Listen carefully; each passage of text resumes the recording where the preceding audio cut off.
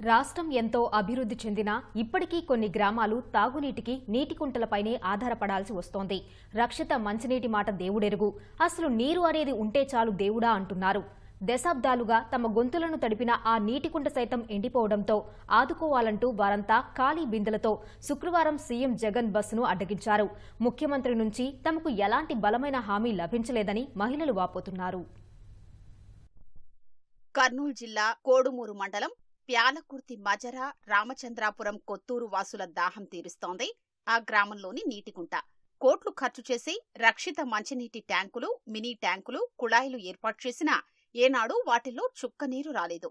ఈ కుంటలో నీటినే మినీ ట్యాంకులకు అధికారులు పంపించేగా వాటిని అరకొరగా గ్రామస్తులు వాడుకునేవారు.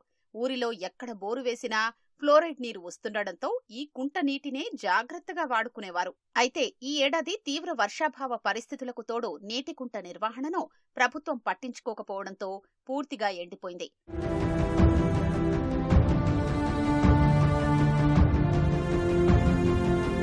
మూడు నెలలుగా తాగునీటికి గ్రామస్తులు తీవ్ర ఇబ్బందులు పడుతున్నారు.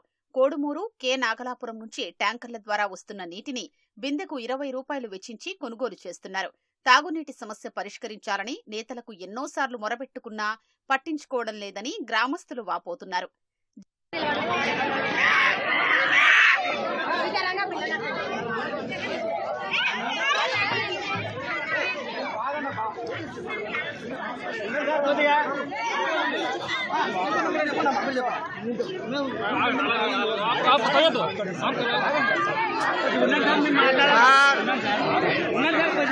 నీళ్ళ ప్రాబ్లం చాలా ఉంది. నీళ్ళు అస్సలు రావడం లేదు. ట్యాంక్ మూడు రోజులకు నాలుగు రోజులకు ఒకసారి వస్తుంది. అవి కూడా ఉప్పులం నీళ్ళే. మేము ఆ నైలు తాగినప్పుడల్లా మాకు చాలా మోషన్స్ పెడుతున్నాయి. ఇట్లా ట్యాంక్ వచ్చినప్పుడే పట్టుకోవాలా? ఇంటికాడ ఉండి పట్టుకోవాలా? నీళ్ళ సమస్య అయితే చాలా ఉంది మాకు. వెంగల్ కొంటామన్నా ఫిల్టర్ నీళ్ళు. బిందె పదహైదు రూపాయలు లెక్కించుకోవడం రోజు మార్చి రోజు వస్తాడు. ఒక్కో రోజు రోజు వస్తాడు. ఒక్కోసారి వారమైనా రాడు.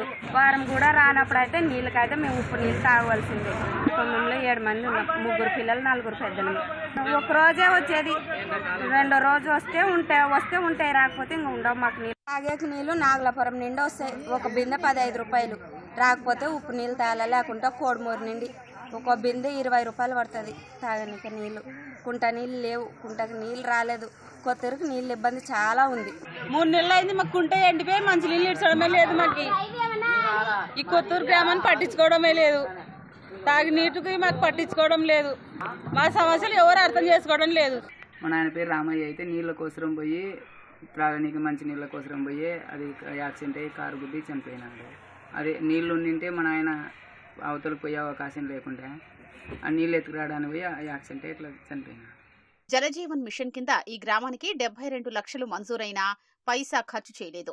కోట్లు ఖర్చు పెట్టి నిర్మించిన వాటర్ ట్యాంకులు అలంకారప్రాయంగా మారాయి. వాటిల్లో ఫ్లోరైడ్ నీటిని సరఫరా చేస్తున్నారని గ్రామస్తులు మండిపడుతున్నారు.